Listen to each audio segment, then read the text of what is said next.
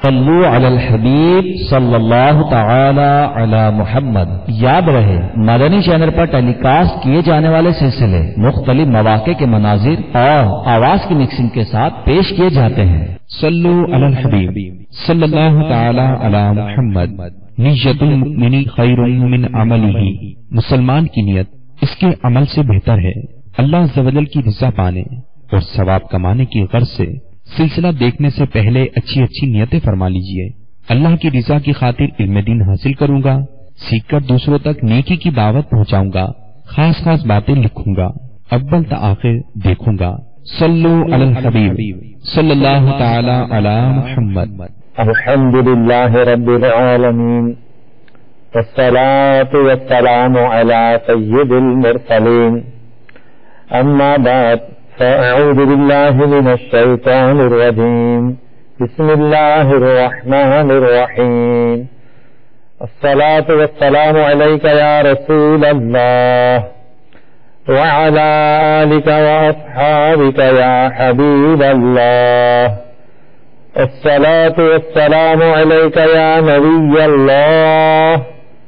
وعلى آلك واصحابك يا نور الله زما خوږو د مدني چینل کتونکو اسلامي وروڼو او قیم د یو مسلمان په نیکۍ چې کوم ترازو دي هغه به لغوندې سپک شي د رسول الله صلی الله تعالی علیه وسلم به د یو پرچا یو وړیکه د کاغذ ټکړه به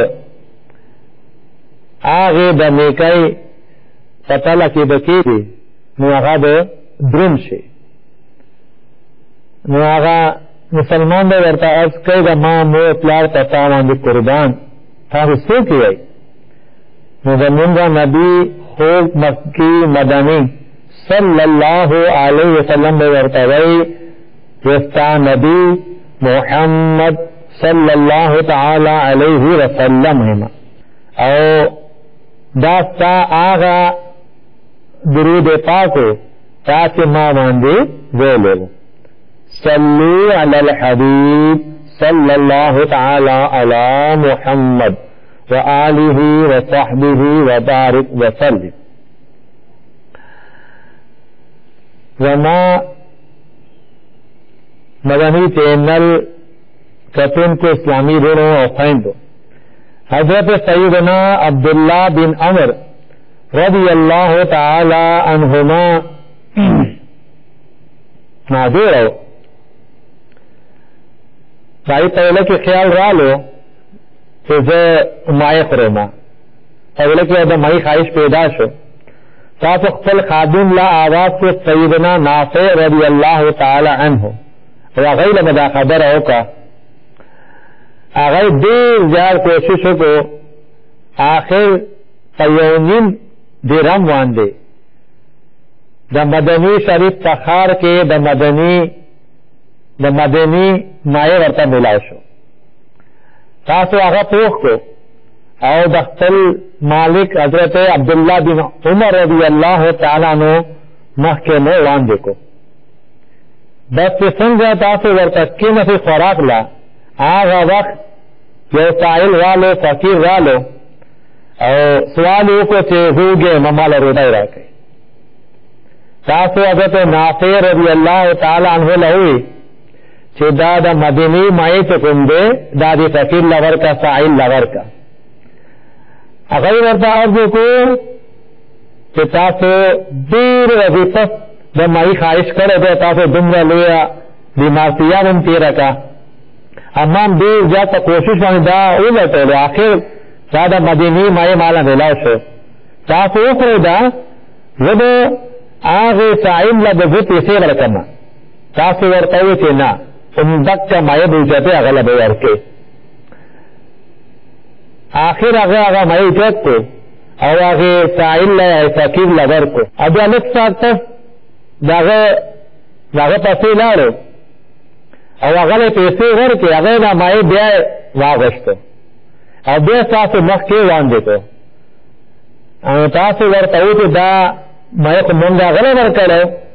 تا هغه نه بیا ولې واغسته وي ما غله قیمت ورکو تاسو ورته ووایئ چې دا ما یې غله ورکا او هغه قیمت به هم هغه سره یې هغه ترې نه لې وسه ولې چې ما د رسول الله صلی الله تعالی علیه وسلم دا حدیث د رسول الله صلی الله تعالی علیه وسلم نه اورېدل دی چې کوم یو کس د یو سیس خپل خواهش لري او بیا هم هغه خپل خواهش چې کوم دی هغه ودرای هغه قربان کی او هغه سیز بل نظر کی نو الله تبارک و تعالی هغه کس وبخي الله تعالی به هغه باندې خپل رحمت راوړي او دا غي د برکت دی الله تعالی زمونږ هم مغفرت وکړي صلوا علی الحبیب صلی الله تعالی علی محمد اې د رسول الله عاشقانو او زما مدني چینل کتونکو تاسو وکتل چې حضرت سیدنا عبد الله بن عمر رضی الله تعالی عنهما تختل ځان باندې تختل نفس باندې د سره قابو ساتلو دا یو خبره ته ډیر زیات لکه دو چې تاسو د مدینه هغه مایه او نه خوړلو او صرف د الله د رضا لپاره د ثواب د په نیت باندې تاسو هغه چې کوم د دنیا نعمت د الله په لاره کې مو ایثار کو نو زما خوږو اسلامي وروڼو دا د دې ایثار معنی څه ده ایثار غي څه ده ایثار غي چې د بل کوم خواهش دی او د بل کوم حاجت دی د هغې خواهش، د هغې حاجت به ته احترام کړې، خپل حاجت او خپل چې کوم ستا چې کوم خواهش دی هغه به ته پرېږدې. په خپل خواهش باندې، په خپل حاجت باندې به د هغې کس خواهش او حاجت له به ته په ګون نظر باندې ګورې. زما خوږو اسلامي وروڼو او مدني چینل کتل کو حضرت عبدالله بن عمر رضی الله تعالی عنهما دومره زبردست د ایثار جذبه دی له چرته نه ملاو شوې وه الحمدلله دا ټول زمونږه مکی مدنی آقا خوږ مصطفی صلی الله تعالی علیه وسلم د صحبت برکات او تاسو خپل څنګه عالمو او تا به خپل څنګه عدل و انصاف والا وای چې په روایات کې راغی دی حضرت سیدنا حلیمه سعدیه رضی الله تعالی عنها خپل اولاد او هغه تاسو سره په پای کې شریک وو هغه د نبی کریم صلی الله تعالی وسلم مبارک عمر غړي کې عمر د پیس کول والا عمر هغه وخت به هم تاسو ایثار کولو ها هغه وخت به هم تاسو ایثار کولو څنګه به کولو چې علما دا خبره لیکلې ده چې نبی کریم صلی الله تعالی علیه وسلم یو خوا به سکله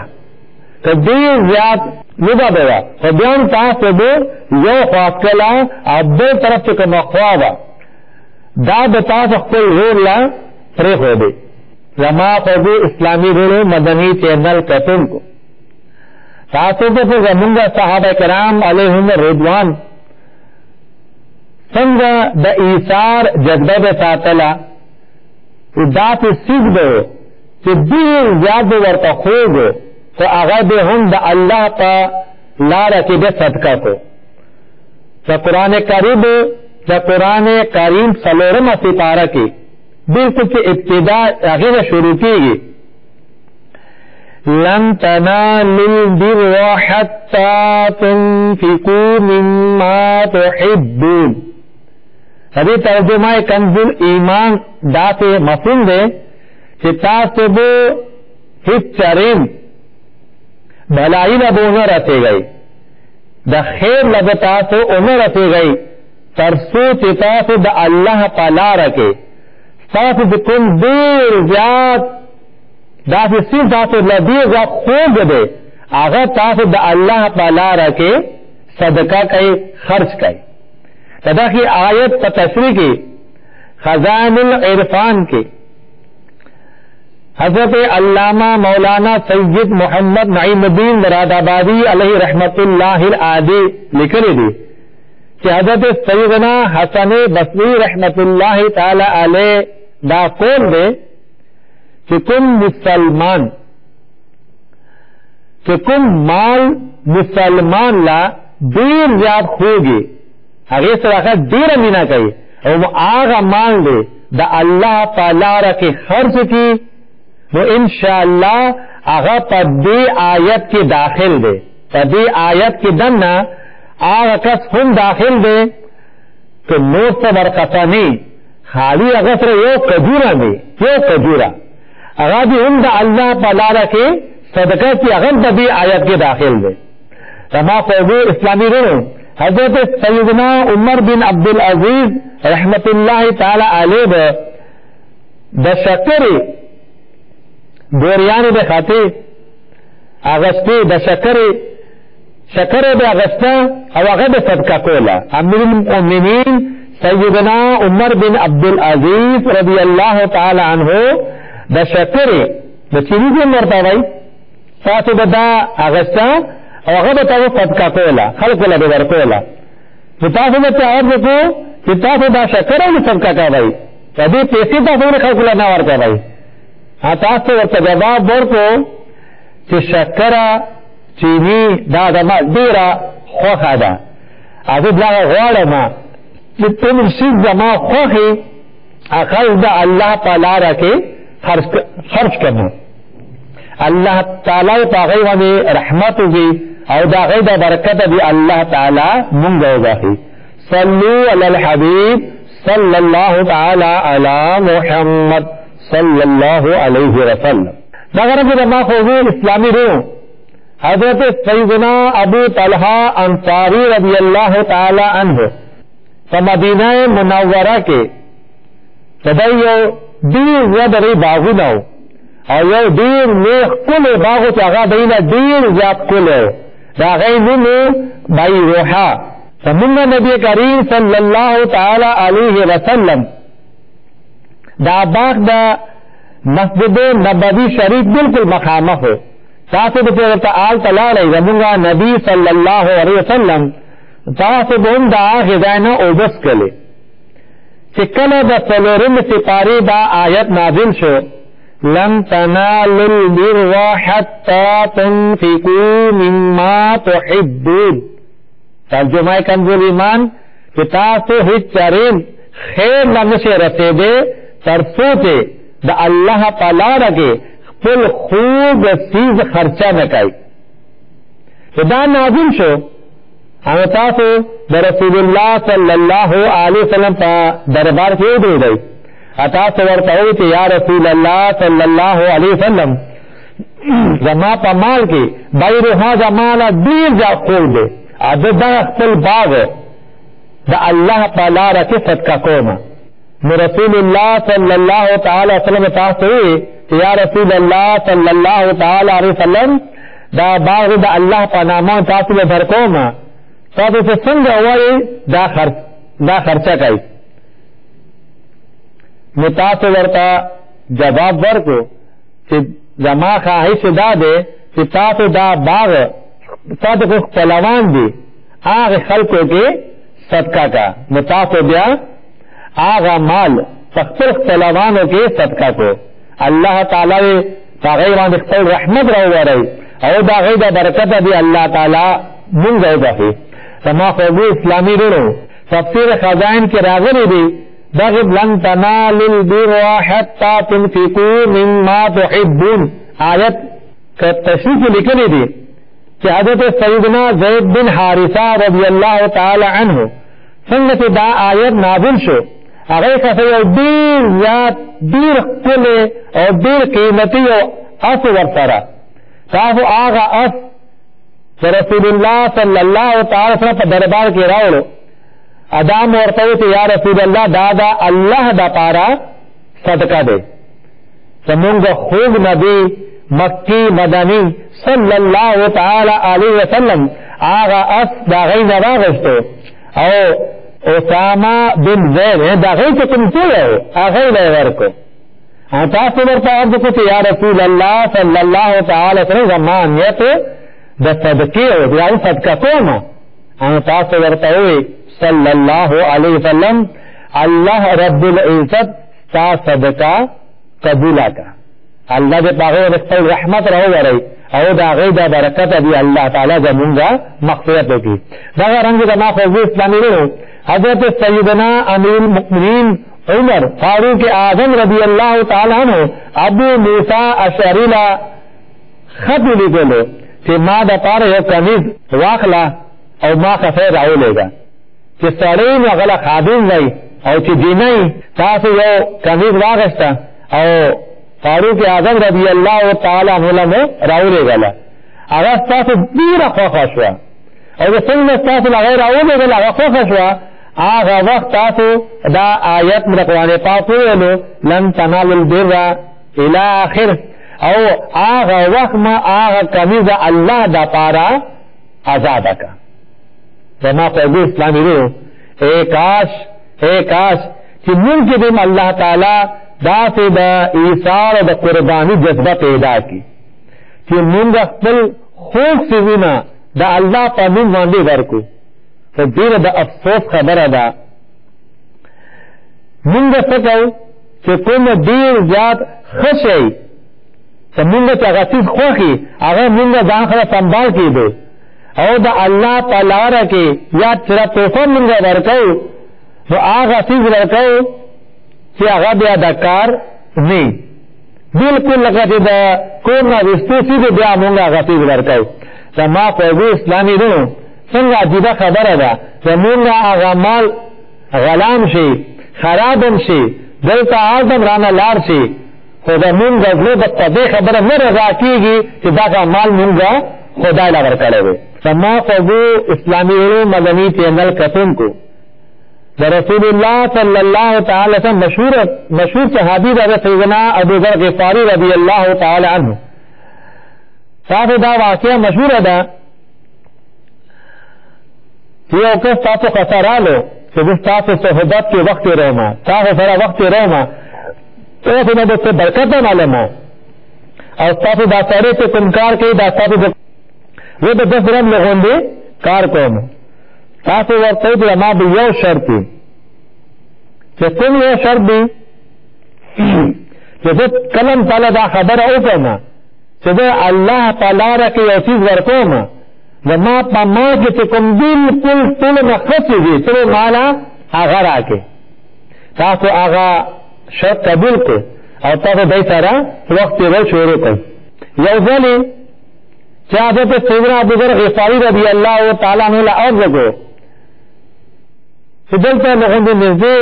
د نهر په غاړه باندې څه غریبان خلک آباد دي ته خو د هغوی څه مدد وکړئ تا په خپل هغې خادم له آباد کړو هغې نه مو چې یو اوښ راړه اوښ اوښ چې ورته وایي اردو کې هغه لاړو او بلکل چې کوم ډېر ښکلی ډېر زبردست اوښ و هغې له مخکې لاس واچولو په بیا د مازغو کې دا خبره راغله چې دا اوښ چې کوم دی هغه ته سیدنا ابوذر غفاري خپله هم د سورلۍ پورې استعمال سورلۍ د پاره استعمالای او دا ډیر ښه اوښ دی خبره مانی فرمبردار دی او غریبانو له خوا غوښه ورکول ده نو تاسو یو بل اوښ هغوی له ورکو او څنګه چې حضرت ابوبکر غفاري رضی الله تعالی عنه بل اوښ وګټو تاسو خپل خادم له ووې چې تا خیانت وکړو لاړ شه هم هغه اوښ راړه تاسو بیا لاړئ هم هغه اوښ مو راوړو نو تاسو خپل خادم له وویل چې دا حلال کا او دا د دې نه غوښه پخه کا او چې څومره قسمي کورونه دي هغې ټولو کې برابر برابر غوښه تقسیم کا او ماله بن دومره راکې چې څومره هغه غریبانانو له ورکې بیا به تاسو تعریف شئ تاسو خپل خادم ته تپوس وکړو چې تا ما سره لوس کړو چې زه به خیانت نه کوم او د الله په لاره کې چې کوم ټولو نه ښه څیز به د هغه ورکوم بیا تاسو دا اوښ ولې پرېښودو او تاسو ورته ووایئ چې صرف او صرف ما تا دپاره دا کار کړی چې هغه ستا ډېر زیات د ضرورت څیز و هغه ما په هغې تاسو سورلي کوله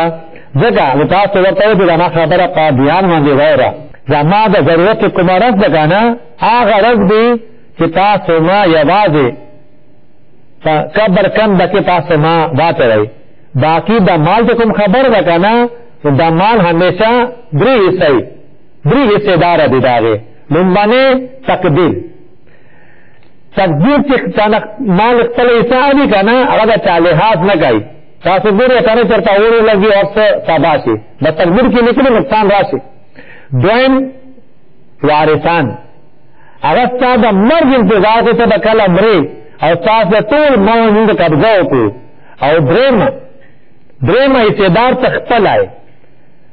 انو د خبرې مطلب دا شو چې تقدیر او وارثان چې تا نه مال اړي نو تا سره رعایت نه کوي نو بیا ته خپل ځان ولې ساتې خپل مال د الله په لاره کې خرج کړه نو دا به درته په آخرت کې ان شاء الله جمع شي بیا تاسو دغه څلورم باندې د آیت نه په څلورم سپاره نه دا آیت ویلو لن تنالوا البر حتى تنفقوا مما تحبون چې تاسو هرگز ښېګڼې نه نشي رسېدی، خیر نه نشي رسېدی، تر څو چې تاسو د الله په لاره کې خپل خوږ چې کوم څیز دی هغه خرچه نه کوئ. زما خوږو اسلامي وروڼو، ای کاش